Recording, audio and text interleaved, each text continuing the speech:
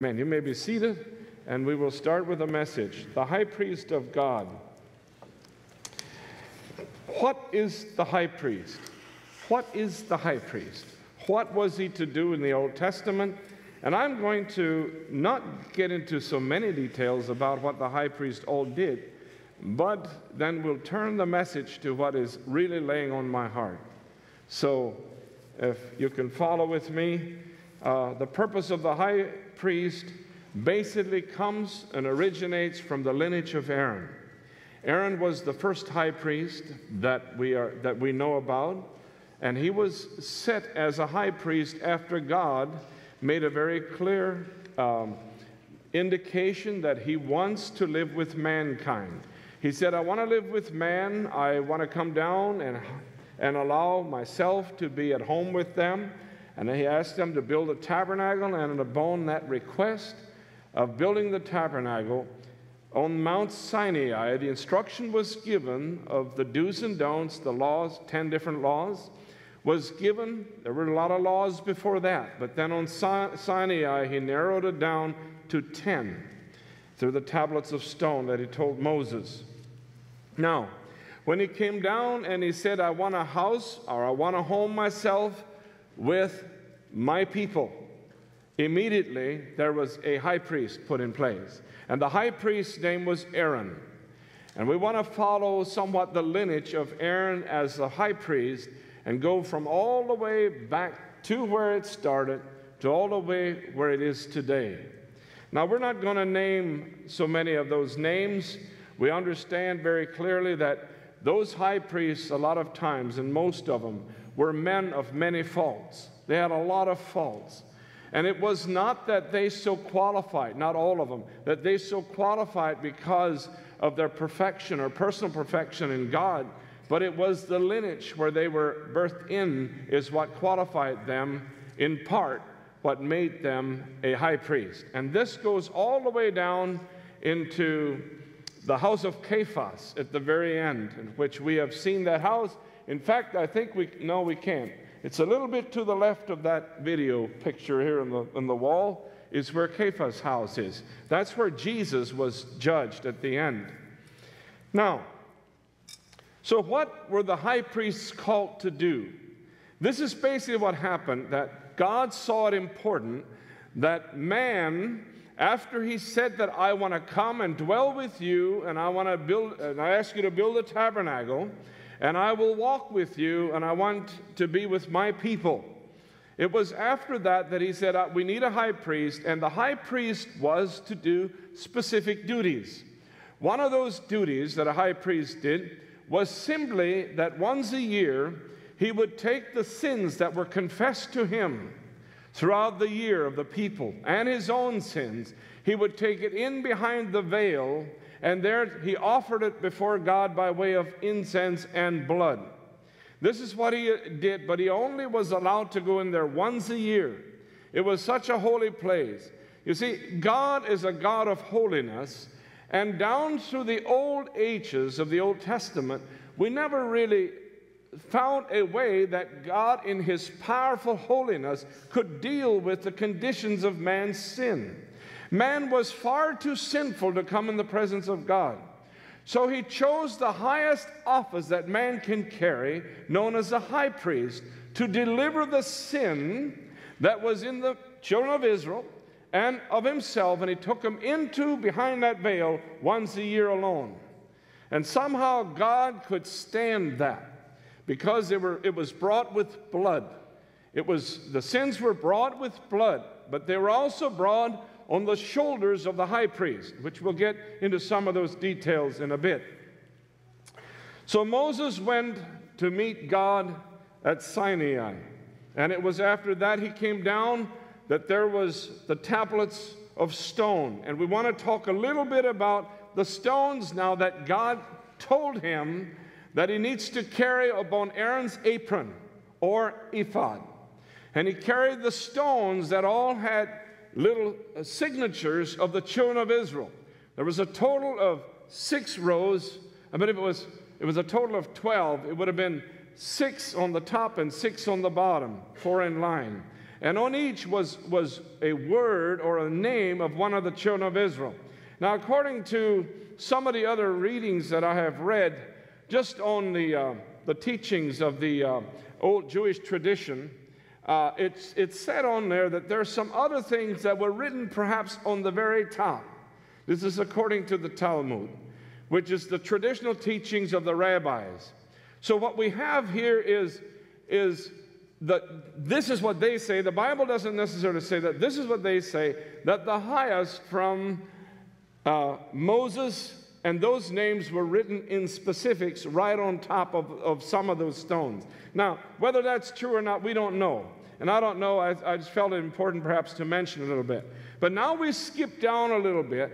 And after that, Moses, some reason we have an echo in here, and I don't know if, I think they're working on it, but it's working in my mind a little bit. Is it working in yours? so, um, Exodus chapter 25, starting in verse 6. Now, I explained a little bit before what happens before verse 6, but now we go to verse 6, and this is where it starts. It says, Oil for light, and this is what the high priest was to have oil for light, spices for anointing oil, and for a sweet incense. Now, in verse 7, it says, the next verse, onyx stones and stones to be set in the ephod and in the breastplate. Verse 8, and let them make me a sanctuary that I may dwell among them. Now, God said like this I will dwell with the people in the Holy of Holies, behind the veil. This is where I will place myself, and I will rest myself in that position. But when you come into my presence by one man, once a year, I want you to be dressed with this, with a name written on the stones of, that represent all of the children of Israel. All right, the, the people that he's dwelling with. And I want you to use and write them on onyx stones. Now, onyx stones, when you look at um, just in the, and Google it up or, or something of that nature, uh, if you look at the word onyx and, and what it means and, and to what it is described as, is perhaps one of the most beautiful stones that you will find. I, with my personal opinion, would say it's probably one of the prettiest stones I have ever seen. Even more so than gold to me. Gold is precious, yes, but an onyx stone is very, very special and it has a lot of detail that only is been put in there that you cannot really manipulate any way, shape, or form. Now, there's different colors of onyx stones. There's a black onyx stones. And in fact, how many of you have seen this? And I might just put out a little warning thing. Some people that uh, go to massage places to get a massage and so forth, no problem with that. But then they put these black stones, those are onyx stones, they put them on the back because they say there's something in an onyx stone that brings healing to a person. Now, when you look at the onyx stone and the world description of it, they take this off of here, thinking that in these onyx stones is a special power to heal. This is not why God put them on here as a special power to heal. It is simply a piece of mineral. There's no strength in it, all right? So that's not the point. Even though, from the world perspective, they think that way. But what God saw was the names of his people that he dwells with in a face to face situation behind the veil once a year with a high priest with blood, a little container with blood and he had some other spices that he offered, some incense that he offered. But with that was the names, and this is how God looked at those people that he dwelt with. He did not necessarily look at these people as really evil, corrupt people, or he would have put them in the worst stones you can find. He looked at them obviously as being very precious and he, so he put the names in these very precious stones, in these very beautiful stones. In fact, the beautiful, most beautiful stones that you can about get, he put the names of the children of Israel on those so that it, it didn't diminish on what he thinks of them. I, I want you to bear that in your mind as we go through this message that God did not write the names of the children of Israel, even though as failing as they were, into the worst and the ugliest stones he could find, based on typical religion today that we would think it would be done. But he used the most precious and most beautiful stone to write the names of them in because he thought so highly of what he wanted to do with them. So keep that in mind. They were actually known as stones of judgment. I will not go into the details of that, but we'll go to Exodus chapter 28, starting in verse 9. And thou shalt take two onyx stones and grave on them the names of the children of Israel, six of their names on one stone, and the other six names of the rest on the other stone, according to their birth. All right? And then you Google it up, you'll find what they believe is traditional, would have how it looked like in the old Hebrew language or whatever language it was taken. And then if you look at verse 29, and Aaron shall bear the names of the children of Israel in the breastplate of judgment upon his heart. When he goes in unto the holy place for memorial before the Lord continually. Verse 30, and thou shalt put in the breastplate of judgment the Urim and Thummim, and they shall be upon Aaron's heart when he goeth in before the Lord. And Aaron shall bear the judgment of the children of Israel upon his heart before the Lord continually. I will stop there for a moment and go back and explain a little bit out of these verses now. Let's look at this. Let's take a picture of this. Aaron, the high priest, did not only have this garment and ephod with the stones in, in, and that it had the inscriptions of the children of Israel, he did not only have that, but God gave him a further commandment. And he basically said, as you're listening to these people that are failing, and as they confess their sins to you, I want you not to only bear it on the names of these stones, but I want you to put it on your heart. All the sins for a whole year long that the people confessed, the horrible things that were done, the defeats, the hurts, the pain, the wounds, the, the sins, the debauchery. I want you to carry them on your heart. I believe Aaron was pretty loaded down. And whenever he heard a sin or someone fall into sin, he felt it because he was to carry it on his heart. God asked him to carry all the sins of the children of Israel upon his heart. Let's look at it again. And Aaron shall bear the names of the children of Israel in the breastplate of judgment upon his heart. The word judgment means like a verdict. That is wrong, that is right. That is wrong, that is right. That's somewhat what a high priest was used for as well. A high priest was used also, well, well, Aaron, what do you think should I do here? Should I do this or should we do this? We have a family issue. Is this correct or is this wrong? That is often the way it was with the high priest stood in that order where he could give some answers. And when he goes in unto the holy place for a memorial before the Lord continually, for a memorial before the Lord continually, it is upon his heart. Now look at the next verse. And thou shalt put in the breastplate of judgment, the verdict of whether it was right or wrong, the Urim and the Thummim. And they shall be upon Aaron's heart when he goes in before the Lord. Now, you say that, well, just maybe once a year it'll be on his heart. No, no. No, it's different. Aaron shall bear the judgment or the verdict of the children of Israel upon his heart before the Lord continually. Aaron had a responsibility to carry the weight of the sin of the people on his heart. And I'm sure that some of you have seen some of your children do some things that really grieved you. Or sometimes you find somebody, and I've dealt with this for so many years. I meet somebody from church, I meet somebody that might have an issue. Sometimes the issue is not known to me but I see it. And it's rests, or not rest, but it lays on my heart. I can't sleep at night because of it. I roll around because it's continually on my heart. I stand as a person responsible somewhat. And I stand as an intercessor somewhat. As you stand in your family like that.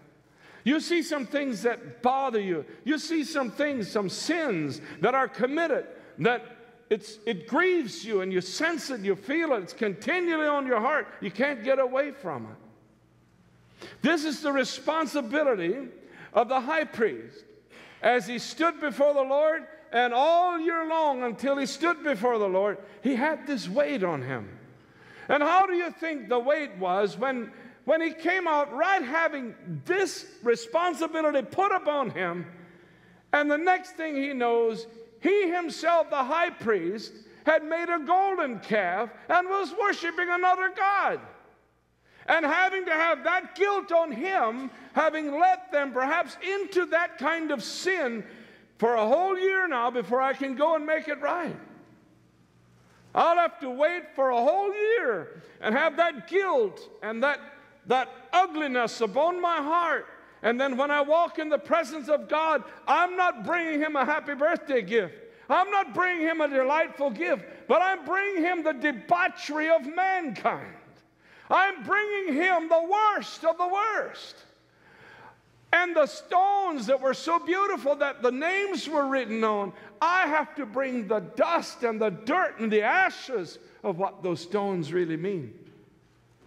See, the high priest did not necessarily go in to the tabernacle once a year to bring good news to God.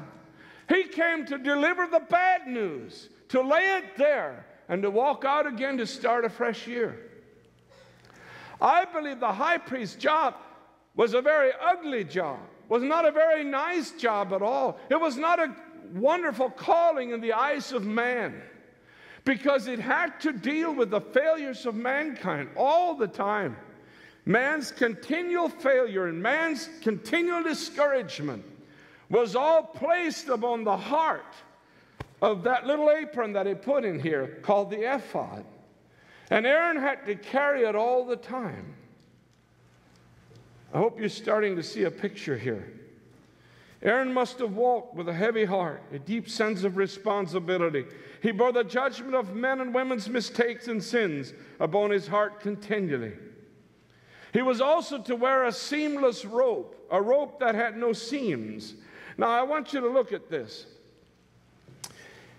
As you sit here today, if you couldn't have gone to God yourself with all the sins that you've committed 365 years, uh, days ago till now, and you would have had to confess them to me all the time when you failed, I would be standing here looking across this audience pretty grim.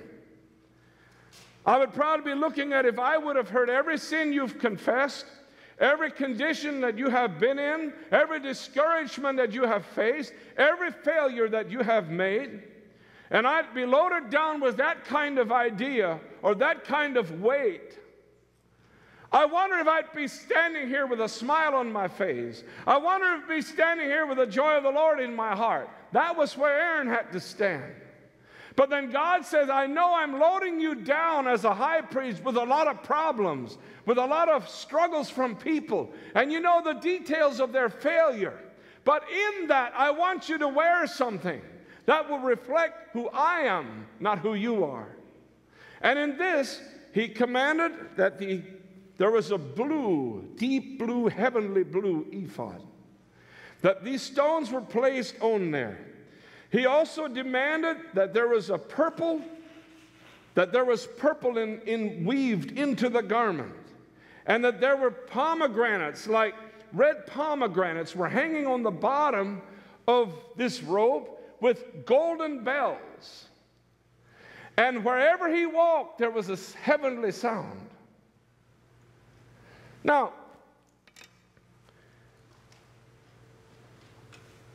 When you fail, do you hear the heavenly sound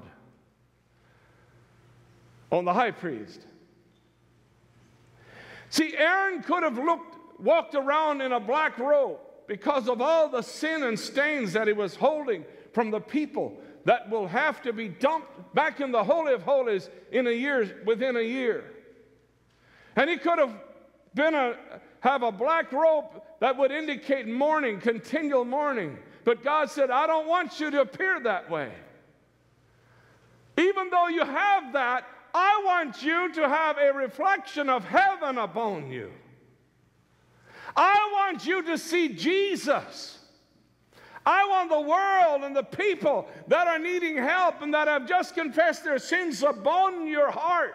I want them to see something heavenly in this. And when they see you, they won't think of a grim reaper, they'll think of something heavenly. Wherever you walk, I want that noise that, to bring courage to people. The sound of a bell, a bunch of little golden bells and pomegranates. And they will have a tinkling sound that you know as soon as that high priest walks, it's like, ah. I'm sure it was one of the most beautiful things you could hear in that day. It, it indicated God's holiness, it indicates a servant at work, it indicates God's precious high priest well, on the head he had holiness unto the Lord. He had all kinds of garments, but the sound of it, even there was a certain step with this man that brought attention to God. Are you hearing me? Somehow God wanted the high priest to look very attractive for an ugly sinner to deliver a sin and the sins of the people upon his garments. But out of it shines heaven. Out of it you hear the joy and the sounds of praise, even in his walk. I believe I have met people like that. I have met people in the spiritual priesthood, not high priesthood, but spiritual priesthood, that you could sense a heavenliness about them. You might have been pretty discouraged, but when you met them, you heard the bells and you heard the pomegranates that were putting out a noise, and when you walked away from them, you were so encouraged. Priests at work, high priests at work.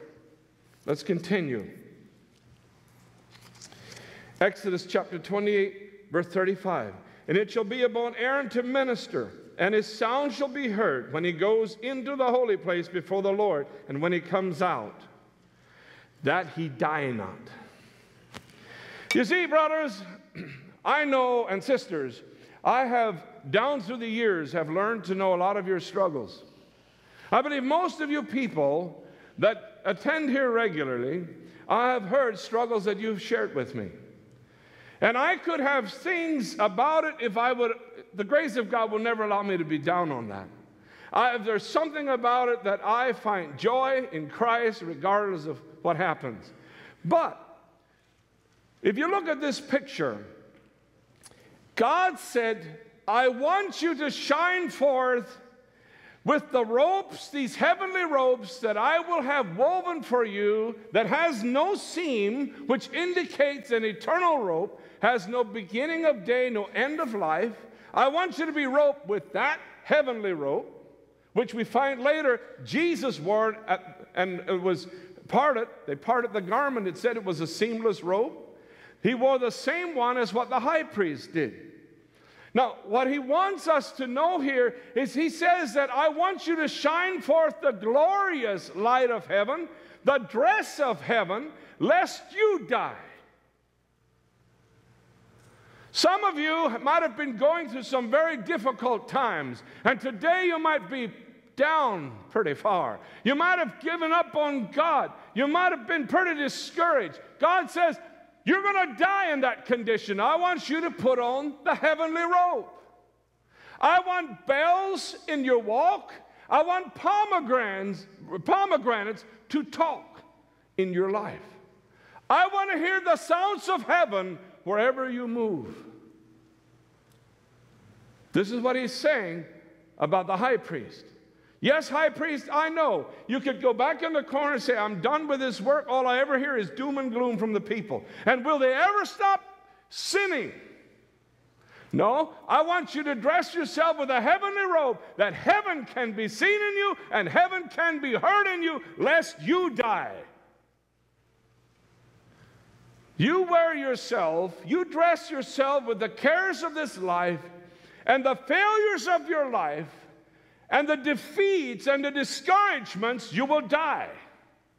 He says, No, I want you to have an undergarment on that reflects God's glory. And with all the problems you hear piling in from people, you have to have that so that you do not die. There's another way of saying you need to keep looking at the brighter side of life. Yeah, the high priest. He had to continue to look at the brighter side of life. He couldn't allow himself to go down because of the failure of the people. There had to be that continual ring of his glory, of his holiness, of God's presence, because he represented God. Now, if you're really discouraged and things go wrong for you, you just feel like putting on a black mantle and go like this. You're going to die. He says, No, that's not what I want you to do. I want you to lift up your voice. I want you to put on a garment of praise for a spirit of heaviness. This will help you through life. There needs to be a continual tone of God's heaven, God's grace, God's mercy, and God's love that comes from your heart. You cannot restrict it regardless what you go through.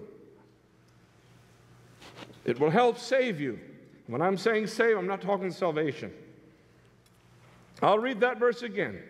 And it shall be upon Aaron to minister, and his sound shall be heard when he goeth in unto the holy place before the Lord, and when he cometh out that he die not. Carrying that awful load of judgment upon his heart is near deadly.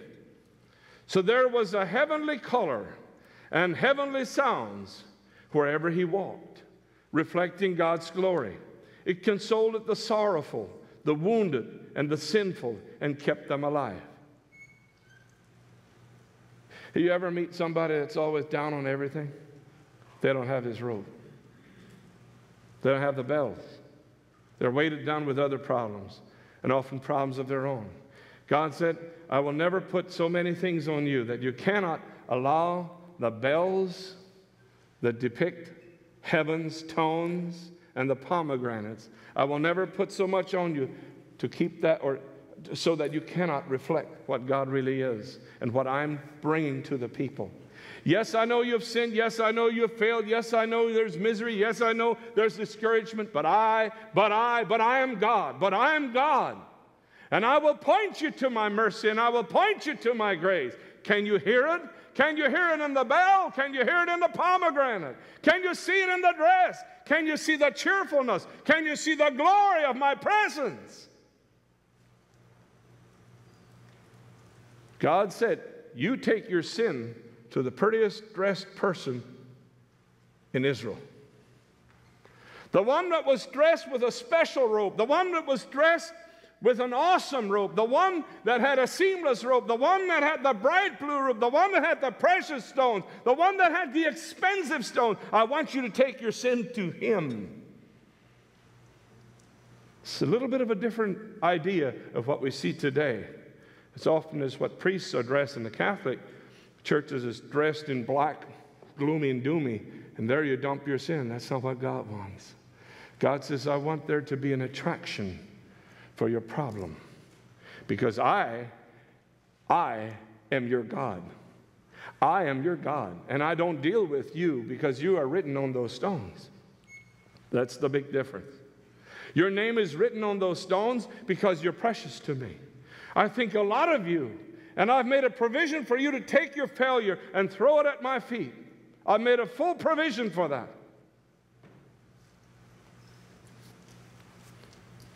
It consoled the sorrowful, the wounded, the sinful, and it kept them alive. Hebrews 5:1 For every high priest taken from among men is ordained for men in things pertaining to God, that he may offer both gifts and sacrifices for sin.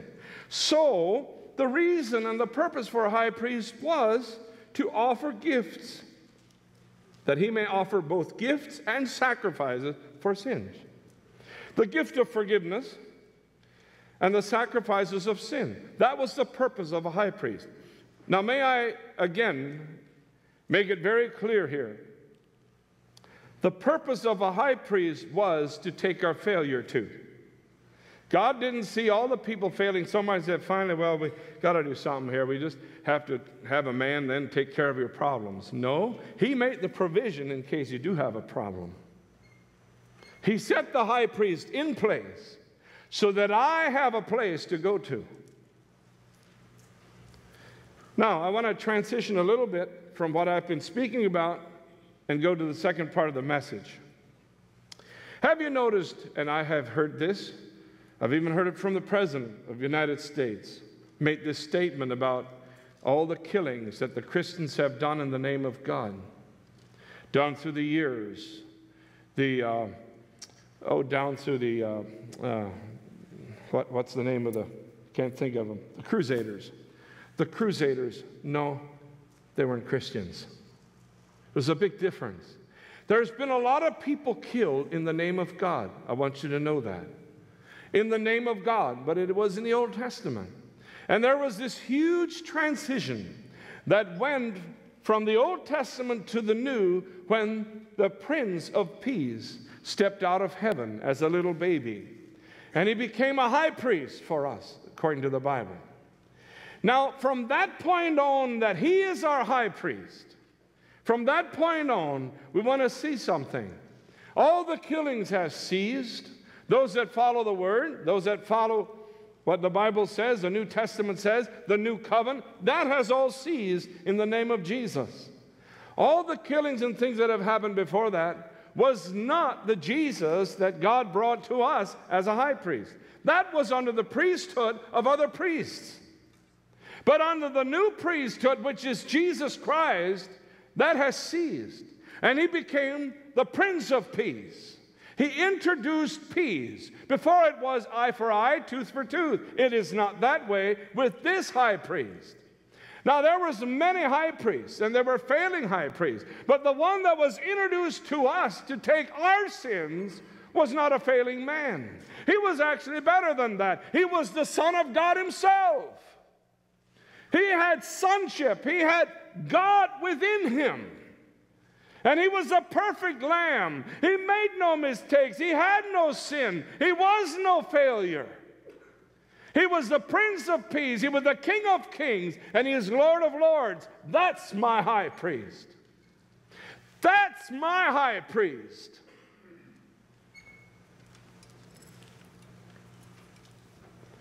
Isaiah 42 1. Behold, my servant, whom I behold, mine elect, in whom my soul delighteth. I have put my spirit upon him. He shall bring forth judgment to the Gentiles. Now, this is in Isaiah. This is before Jesus was on the earth. Now we look to Isaiah 42 5. He shall not cry nor lift up, nor cause his voice to be heard in the streets. When you look at this, this is what it says. He will not protest. He will not protest on the streets. He won't carry the signs and protest things. That's what it says. He shall not cry nor lift up, nor cause his voice to be heard in the streets. Look at verse 3. We're talking about the old wars between the Moabites and the Ammonites and the Egyptians, and back and forth. There was all kinds of conflict. But when this high priest will come, he will come in a new way. He will not only dress like heaven, he will be heaven, and he will come to us to our rescue. In verse 3, it says, A bruised reed shall he not break, and a smoking flax shall he not quench. He shall bring forth judgment unto truth. The word reed and flax, do you know what that used to be used? We have these little lanterns right down here, we have little wicks in them.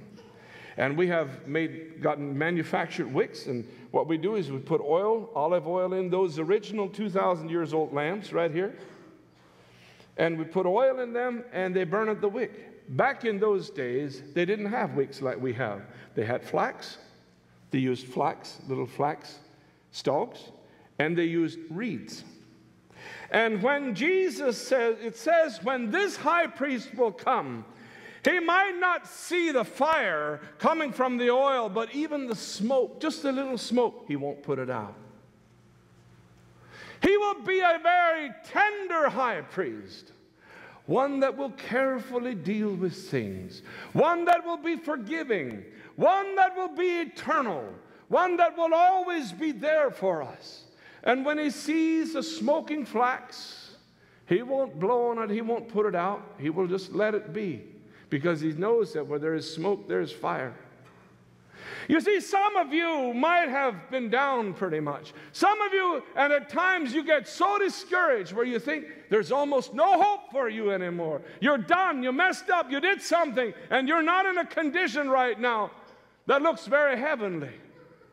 But the high priest that the Bible says that Jesus is, he, as long as he sees a little bit of smoke, he's not going to put you down. Or a broken reed. He's not going to just leave you sitting out there in the water because you're a reed and you'll say, Well, he's broken, he's no good. No, he will bring him in and stick you in the oil. You might not have those personal perfections right now. You might not have the great courage that you once carried. But this high priest is going to be a sensitive one. And he will watch and he will carefully watch over you. And he will have an attraction where you can take your sins to him. And he'll carry the load, he'll carry it over his heart. We'll speak a little bit more, that, uh, more of that later. A bruised reed shall he not break, and a smoking flax shall he not quench. He shall bring forth judgment unto truth. He shall not fail nor be discouraged till he have brought a verdict or judgment in the earth, and the isle shall wait for his law. The tenderness of our high priest. The other day I was, you know, I've been having my share of um, infirmities and things of this nature. I've, I've been dealing with a lot of heart, heart things. And uh, the other day, uh, two incidents that I'll never forget. The other day, I was driving down the road, and uh, it was last Monday morning after last Sunday's message, and a beautiful bird. And my wife and I, we love the, the warblers. We do photography, and we love warblers. And a bird came, and I don't think it was a warbler, but I'm not quite sure it was so quick, came and hit the hood of my pickup. And all I could see is it went back over the windshield, and I had seen the mirror. I killed it. And the voice came to me and said that I permitted that. Oh, yeah. Do you think that God today, the preciousness of the stones, the engraved of his children upon his heart, and he says that I even see the sparrow and I, my permission goes with a falling sparrow. That sparrow, God saw it, and He saw the end is right there when it hit my hood, and He permitted it. God also said that I know how many hair that you have on your head. I am that interested in you that I have counted, and I've taken a hair count of your head today. You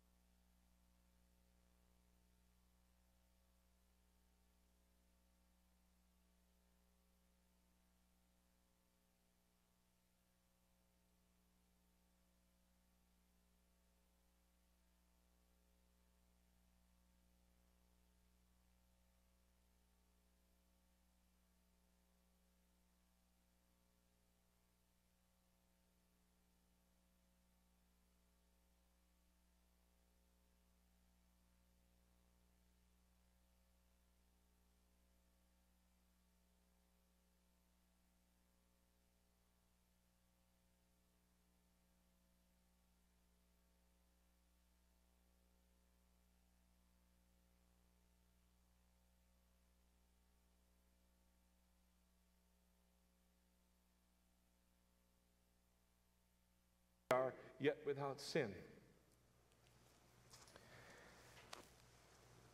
This Jesus, that is the high priest now, he is my high priest. He's become a personal high priest. You know, back in that day, if I could see that, you know, my high priest is Eli, that's what Hannah said. I'm wanting a baby. I'm wanting a baby so bad. I'd love to just have a little baby. And, you know, I'm going to go up to the temple. I'm going to pray there in Shiloh. And I, am just going to go there because. I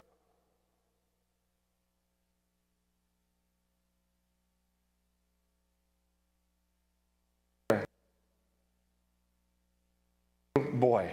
And so she dedicated the boy even before it was born or before it was conceived. And then Eli heard it and became a little critical and said, Ah, oh, you're drunk. That was a faulty high priest. The high priest that I have, my personal high priest, and may I ask you to call him your personal high priest, your personal high priest doesn't make those faults. He doesn't look at me and misjudge me. He wears the judgment of me upon his shoulder. He does not misjudge me. He understands me. He knows me from the inside out. He doesn't mishear me. He doesn't misinterpret me. He knows everything about me. He even knows how many hair I have on my head and even watches the sparrows that hit the, the hood of my truck. He knows every last detail. Why? Because I am precious to him. He's, he thinks I'm so precious that he even counts my hair. And has my name written on his heart, on the ephod. And we think, God, where are you? God, where are you? God, where are you? Do you even care about me anymore? God? God? My wife is precious to me. My children are precious to me. And my in laws are precious to me. But I never counted their hair. But if they would be even more more, more, more, more precious, I'd even want to know if they lost any hair today. That's Jesus, my high priest. I'm wanting to tell you this morning that you have a high priest. His name is Yeshua. His name is Jesus. And his work is same as the other one, even it's perfect. There's only one thing different. He does, he's not here. He's somewhere else. Let's look. Where is this? Hallelujah. Mark chapter 14, verse 62. And Jesus said, I am. And, he sh- and ye shall see the Son of Man sitting on the right hand of power, coming in the clouds of heaven. Verse 63. Then the high priest rent his clothes and said, What need we any further witness? The high priest, sitting in front of Jesus, now rents his clothes. Oh, do you know that Leviticus chapter 21, verse 10, it is a command that a high priest shall never tear his clothes. He is not to rend his clothes. But here he stands in front of Jesus and he tears his clothes. You know why? That was the last high priest, and there's never been another one since. Jesus now is the high priest, and he is fully clothed. It is not anything but ordered from heaven that the high priest sitting there in front of Jesus tears his robes off. He did it in anger, but God said, It is finished. There's no more of that priesthood that I'm looking for, but I'm looking for a heavenly priesthood, and that man is sitting in front of you, high priest. He is the high priest after the order of Melchizedek, ordered all the way back from Abraham's time. For the Holy Spirit said, I will make him a high priest. But the other high priest had to tear his clothes off, and he did. And remember, when I look at the high priest, Jesus, Yeshua today, I look at Yeshua as being my personal high priest. And when I come into his presence with problems and sins and defeats in my life, he is my personal high priest. I address him as my high priest. This morning, when I got to my room, I said like this I said, Jesus, my high priest. And I started talking to him. He is my personal high priest because I need one. God is not your high priest, Jesus is your high priest. What did he do? This high priest, where is he? Well, one thing that he did is after that, this other high priest tore his clothes, I believe it was Caiaphas, he tore his clothes off, his heavenly garb, tossed it, and now Jesus was immediately mantled as the high priest. So, what happens after the resurrection and all that? Here he comes, and when he was at the cross and at the resurrection, or at the cross when he died, there was an entrance that used to be only occupied once a year where Caiaphas and all the other high priests could walk in. It was rent from the top to the bottom, and it was opened up completely so that my entrance can be into the King of Kings and Lord of Lords. And the next thing we know, he takes off and steps in a cloud and goes to heaven and is sitting at the right hand of God. That's my high priest. That's your high priest. Where is he? Is he in, in the next door neighborhood over here? Is he in another state? Is he in California? Is he in Africa? Is he in the desert? No, don't go after him. He is sitting at the right hand of the throne power of God. There is no higher calling, no higher place for my high priest to sit. And he sits next to the highest form of power there is. It's Jesus. There he is in full activity and full duty, watching over me, carefully caring for me. He doesn't only dress heavenly, he is in heaven. And when I look, I look to heaven to speak to him. He is my high priest. There he sits. I had a, a girl a sister from church that contacted me, it wanted to speak to me. And as she gave her life story, she, she sat there, and there's just a lot of trouble that has come to her, and hard decisions and difficult decisions of this going wrong and seeing this is God's way, and then all at once the door seems to close. And it was just, there's times she sat there in some tears, and and she was facing a big giant in her life. The place where she is living is a place where there was some evil uh, depictions of a picture in a room. And it bothered her because she has lived such a high standard of holiness and godliness. But when she comes to that dwelling where she's living, uh, there's some obstacles from posters and things like this that are sitting there, and yet she has no continuing city, doesn't really know where she belongs or where should you live. Would you come?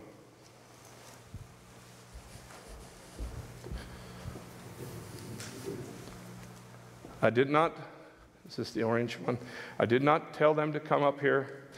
I didn't give you a pre, um, didn't tell you beforehand that I'm going to use this testimony that you shared with me on text.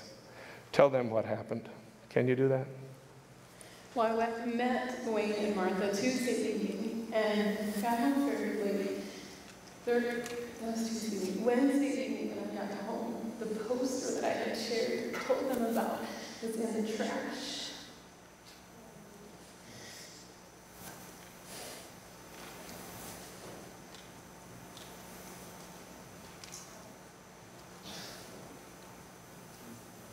It was such a promise that God would take care of me. Actually, later that evening, um, I was taking other trash out and burning it, and I didn't tell you this, but I actually got to burn that poster because it was in the trash. I Wow. just took it out with the rest of the garbage and burned it as well. Praise God. And then you knew that God is watching, That's right. and you had those questions. Amen. And it was a big thing. It was a big thing. And She walked in the garage, and there was this bad poster. And she asked, What should I do? Should I talk to him, brother, family, or what should I do? God heard that. You didn't do a thing. God did it. You know why? A high priest was watching you. He was looking from heaven and he heard that conversation. He knew all about it. He said, I'll deal with that. Amen? Thank you. Ruth. She has no idea why I want her up here. Maybe she does. So she hears the testimony how God healed my hay fever. And in her little quietness, God, I don't know that. I don't have faith. I don't know how. But I need. And she asked the Lord, she asked the high priest, Could you heal me like you did Wayne? Tell us what happened. I just heard about this this week.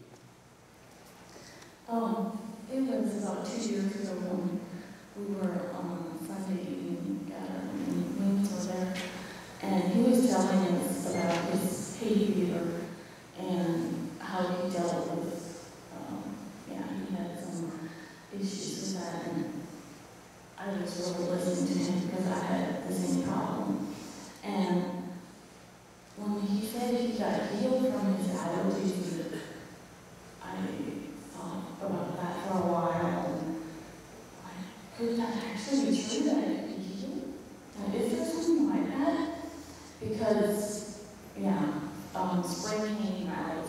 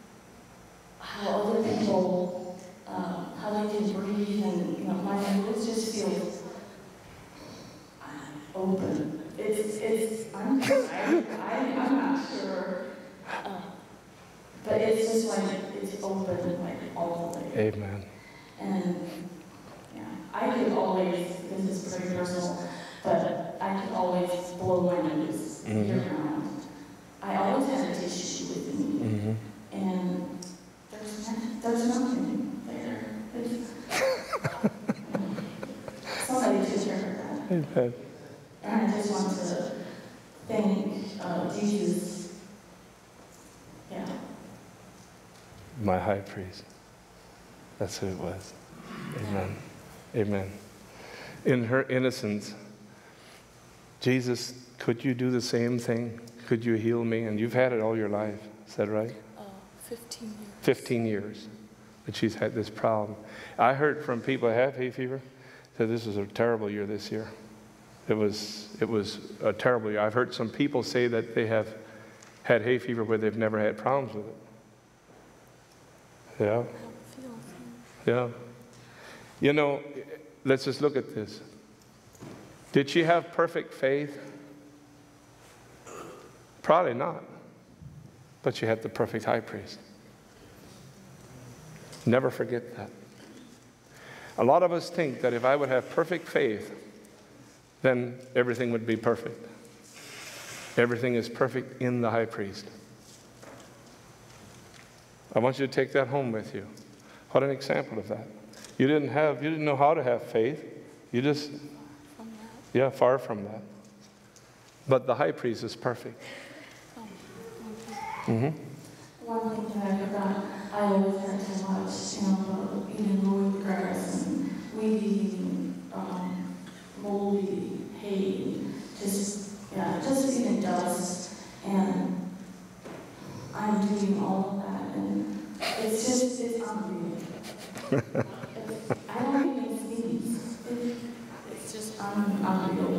Amen. Thank you so much. Uh, and then, Dan, your job, difficult. God, where are you?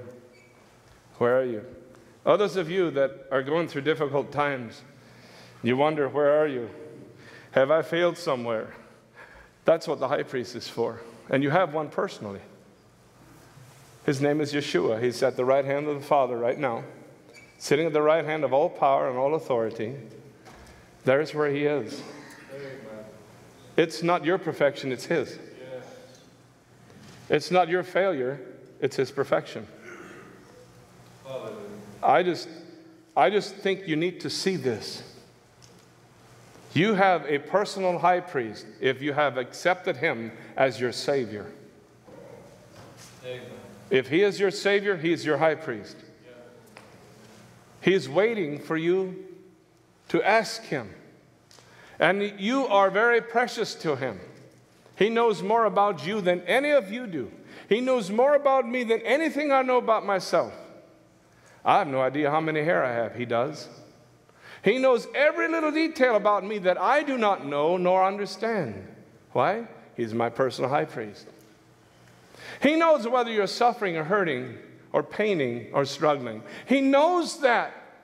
Just remember, He's your high priest. And a lot of, proud, a lot of times that we do not get relief from a high priest is because we don't believe that he is our high priest. We believe he has turned his back on us. We think he's turned the other way. We think he's not watching. But we're written on his on these stones. And I have a little thing I wrote here that I want to read off as I come to the close of this message. He built a bridge of faith to heaven and is seated with Almighty God at the right, of, uh, the right hand of the throne. The high priest sits where it all happens. He is positioned at the right of the throne. There's a throne in the heavens that is called the throne of grace. And if you are in trouble and if you need help, He asks us to come to the throne of what? Grace, because that's where He is. We are to come to the throne of grace. How many of you have asked the Lord in a difficult time and said, God, I need grace? I need mercy. I need grace. Our problem is we don't want to address him as a high priest. We sit back and we take the beating rather than coming to the high priest as my personal high priest and saying, I need grace. I come to your throne because there's grace there, and I ask you to give me grace. Help me, Lord. And he will do so. He will do so. Jesus would not ask us to come to his throne called grace if he wouldn't have any. He knows he has grace, he knows he has plenty of it. We just need to have access to it, and we do, unless we turn our back, uh, unless we get too discouraged, unless we look down too much, unless we have not enough heavenly bells hanging on us anymore. And it makes us go gloomy and doomy, and the whole world stinks, and everything is wrong, and nothing pleases anymore. That's not our, our high priest. Our high, high priest is in heaven. He is seated. No more work to do. It's all done. It's finished. It's complete. He calls it the throne of grace. Verse 16. Let us therefore come boldly unto the throne of grace that we may obtain mercy and find grace to help in time of when you have a need. How many of you have needs in your life? Where is the high priest asking you to come? He's asked you to come to him, the place of grace. He's asking you to come to his throne called grace. He has entitled his throne. I looked at the different things about his throne, talks about the throne of power, and a few words like that. But there's one specific word that is very clear that he, that he says it himself, and that is he calls his throne a throne of grace. Our high priest sits on the right hand of the throne of grace, and there's all kinds of grace there. All kinds of grace. There's no lack of grace. So much grace that he calls it after that. And he asks you to come there boldly. God, I need grace in my life. I need mercy. I need help. I need something that I don't have right now. Can, you, can I have some? He says, Come to me and ask. I will give you that. You see, when you're so low, you don't want to look up, you just want to look down. You don't want to face people, you want to run and hide. He says, No, no, no. You look up here and you come to me. You say like this, well, if he, if he is so much a, a, a high priest that looks out for every detail of me, knows my hair, why doesn't he just automatically help? It doesn't work that way. He, he tells you to come to that place and ask. You see, in, Christ, in our Christian experience, we have to come to Him at times and say, God, I am in need of you. I cannot go my own anymore. I cannot keep myself up anymore. I cannot go higher anymore. I've, i have got too much pain. I've got too much hurt. I can't. And He's waiting for that. Lord, I cannot please you anymore. I need grace. No, we have this in us that I'm going to please God and make Him smile on my life. Jesus says, No, that's what I'm about. I will do that for you. You come to me. Give me your hopelessness. And it's not based on your perfection, it's based on His. Do you hear me? Yeah. Our high priest, my high priest, if the uh, musicians would come up and singers, we're about ready to close. Let us therefore come boldly unto the throne of grace that we may obtain mercy and find grace to help in time of what? Need. And when you have a time of need, you're needy. You feel it. It's all over you. You're needy. Hebrews 13:10. We have an altar whereof they have no right to eat, which serve the tabernacle. Ah, back in the old tabernacle, there was an altar that the high priest worked, and they, they couldn't eat any of the food, nothing like that. We may eat. It says, whereof they have, they, the ones that were under the law, had no right to eat, which served the tabernacle. But that's not the altar that we are. We are the altar where we can, we can come to and we can eat. Then in Hebrews chapter 13, verse 10, uh, uh, Hebrews 5, verse 7, who in the days of his flesh, that, this is my high priest, your high priest, when he had offered up prayers and supplications with strong crying and tears unto him that was able to save him from death, and was hurt in that he feared. He knows exactly what I have gone through because he went through it first. He knows every detail. He knows how to sympathize. He knows how to feel about it. He knows how I feel about it. He knows how you feel about it. He knows all those details. He did it, and there's times when he had strong crying because it hurt him so bad. That's what it says in Hebrews 5. I'll read it again, verse 7. Who in the days of his flesh, when he had offered up prayers and supplications with strong crying and tears, Jesus cried and he had tears running over his cheeks. He was in desperate times like that. He knows exactly when we have that. He knows what it feels like. He bears sympathy with us. He knows what to do about it. And He's there and He's watching. You see a poster, a bad poster on a wall, and you don't know how to approach it, but He sees your heart because He's watching. He'll remove that for you. And the healing part, people that are needing healing don't have the right or correct or perfect faith. He just needs to see that that heart that is open and God, please, I come to you humbly. Can you do this for me? You might not have the perfect faith. Why? Because you have a perfect high priest. There's a huge difference. We want to perfect ourselves in faith rather than our relationship with the high priest, and that's what matters.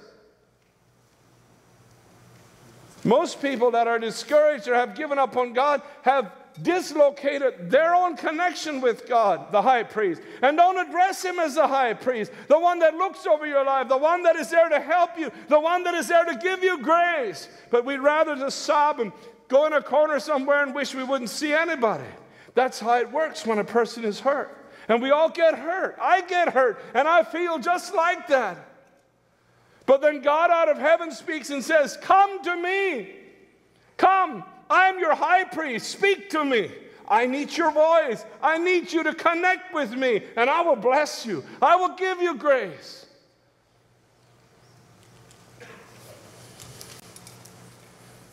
See, our dependence is constantly on Him. Verse 8 Though he were a son, yet learned he obedience through the things he suffered. Jesus had to suffer through these things to learn obedience. You see, sometimes we think like this when will I ever learn this so I don't ever stumble again? You will never learn it. You'll suffer. You will not learn this this way. You will learn obedience through things you suffer. This is why we suffer at times. This is why we hurt sometimes. This is why we pain sometimes, because we're learning obedience. And I believe that one great obedience is to keep in connection with the high priest. I wonder if I would bring this high priest in our midst that you have as a person. Say, for instance, I'll just pick one of you out, and I'll say, This is your high priest, and I'll bring him in here, and he sits here every Sunday. I wonder if you ever connect with him. If we'd all have a different high priest, would you know him? Would, would you know, would he hear from you? My personal high priest is someone that I need to hear from, and he needs to hear from me. But we allow ourselves to be dislocated from Him because we feel guilty. That's what He's for. When did the children of Israel come to the high priest? They came with what? Sins. They came with their worst condition. They came with their defeats. That's what a high priest is for. There's another prince of the power of the air that wants to interfere with us in this communication, in this relationship. And it will try to tell us that you should have nothing but good to offer to him. And you're not good enough for him. All the defeats and things that you have done, you should never even ask him for forgiveness. You don't deserve it. That's correct, we don't deserve it. But that's not my high priest. It's not based on what I deserve, it's based on what he paid for.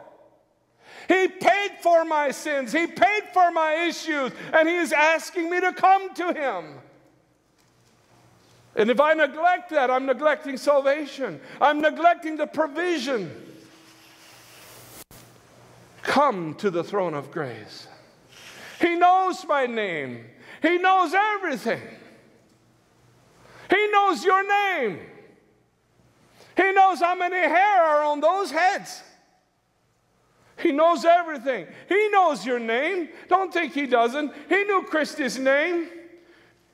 Christy went home that night.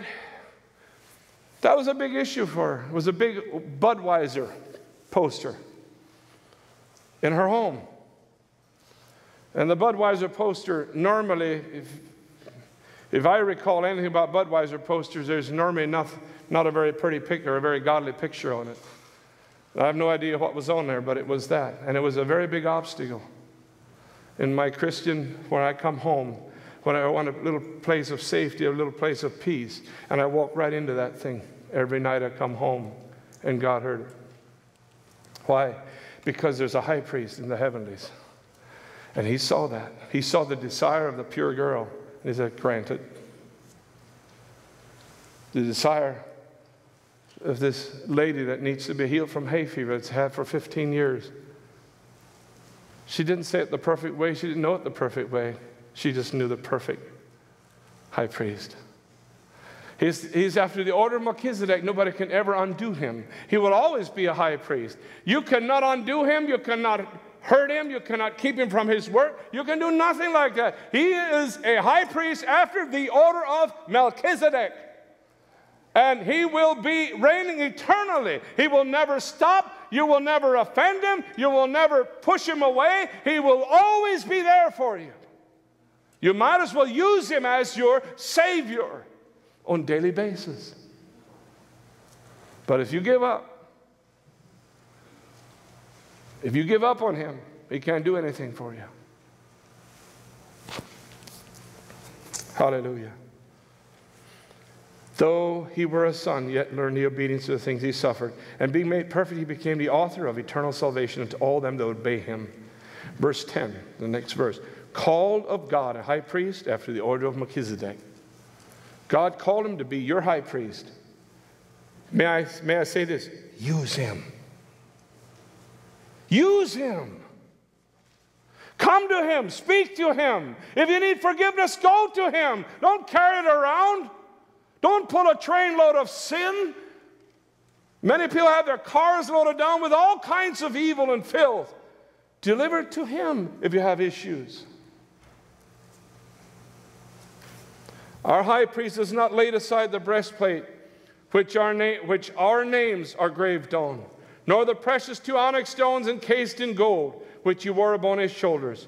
Upon his heart and his shoulders, our exalted high priest bears all his people. His heart and arms are both betrothed to them.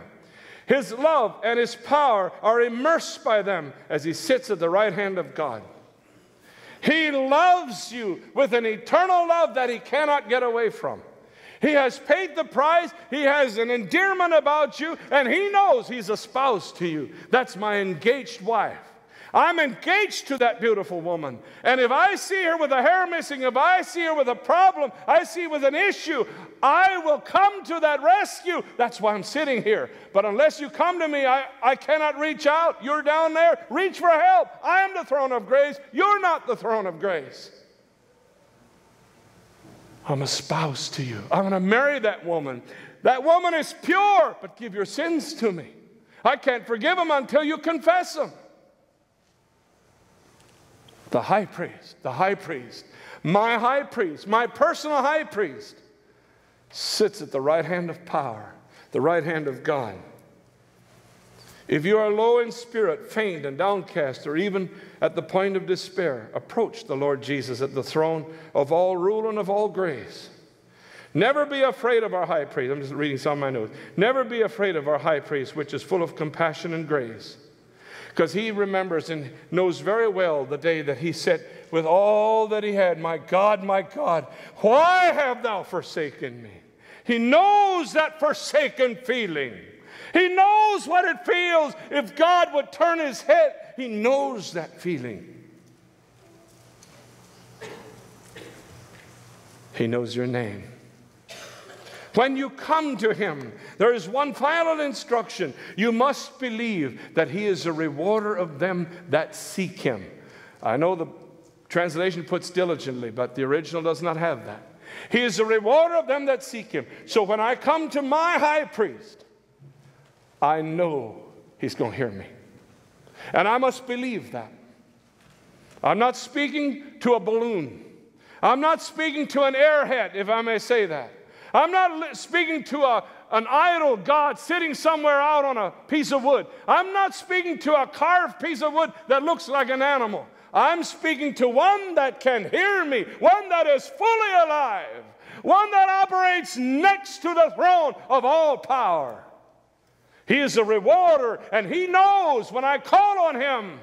He wants to hear, He wants from my heart to know that I trust Him. If you're asking for me to spend some time with you and sit down and counsel, and I already know that you do not trust me about anything, I don't want to meet with you. But when I know that you're willing to hear and listen to what I have to say, I'll have something for you. I believe God's the same way, Jesus the same way. No preconceived ideas come into his presence. No hurts too big, no defeats too big, no sins too big, no backslider too big, nobody wounded too long, Nobody that is hopeless and given up for so long. No, none of those are excluded from the presence of this great high priest. Because upon his shoulders, there's a strap. And that strap has that breastplate on. And that breastplate, we have a breastplate of righteousness, but he has a breastplate and has our name on it. That was the high priest in the Old Testament. I believe the New Testament so much has more of that. We are a breastplate. We are part of that breastplate for Him. It's glorious. It's a glorious picture. And when we come to Jesus, it's all about heaven because that's where we look. It's not just blue colors, it is heaven. It's not heaven like blue, it is heaven. It is not a picture like the throne, it is the throne. We're access, we have access right to the most powerful place on all of the universe if I just make contact. That's where my high priest is sitting. He has paid the full price, he has paid for every sin that needs to be uh, forgiven. He's taken everything upon him, and our names are written there. And when we come to him, the names match. Wayne, it's right here. And he bears it on our heart. I believe that's what he had on his heart when he went to the cross, when he came and resurrected from the dead, when he went up and ascended into heaven. I believe the name was taken right with him. We are written in his registry. The Bible is very clear about that. When the book of life is opened and our name is found in there, that book of life or that fountain of life could be the very heart of Jesus, my high priest. And when you come to him, some years ago I was down in Miami and I had a reservation to come to a certain place for a certain seminar. And when I came up to the desk, they did not have a name that matched anything and I could not get in. And it was a mistake. Later on, found out that my name was there. And once they saw my name, then my name was welcome in. The high priest that I know that represents me, that I believe in, that is my personal high priest, has my name on his breastplate. And it's engraved in the most precious stones. There it is. And when I make contact, it's like, yes, you're registered here already. Have you been pre registered through the new birth? And if you are, are you using your access? There is no PIN number it's called being born again. Can you use what God has provided for you in Christ? I would like for you all to say this with me. I'll say it first Jesus is my high priest. I just want you to confess that. If you're born again, say that right now. Jesus is my high priest. After the order of Melchizedek, he will never stop. Eternity. He is an eternal one. The other one tore his clothes off, and they went and separated the, the garment. And they can never put it together again. There is no other high priest anymore. Jesus, the last high priest, the only high priest, and he lives forever, and he's my high priest. And he calls me his friend. I hope you find him that way. He knows your name. He knows your name.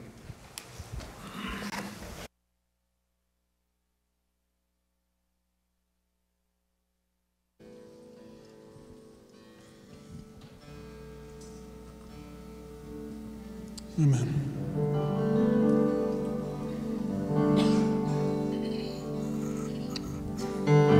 He counts the stars, one and all. He knows how much sand is on the shore. He sees every sparrow that falls.